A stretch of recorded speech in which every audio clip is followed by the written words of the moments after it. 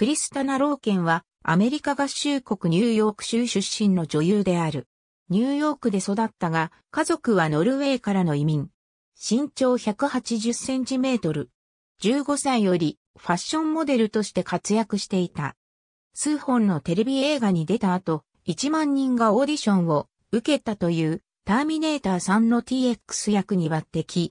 撮影前に半年集中的なトレーニングを受けて挑んだ。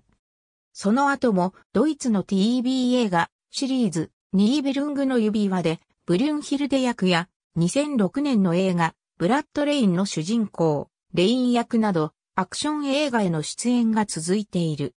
2007年には、人気漫画雑誌のヒロインを主人公にしたアメリカの TV ドラマ、特殊能力捜査官、ペインキラー・ジェーンで主役のジェーン・バスコ役を演じた。アメリカの TV シリーズ、L の世界シーズン4にも出演した。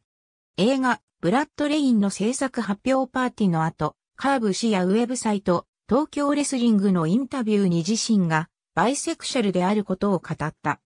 しかし、同インタビューの中で、タブロイド紙が書いたミシェル・ロドリゲスとの恋愛関係報道については、彼女とは親友関係であると否定した。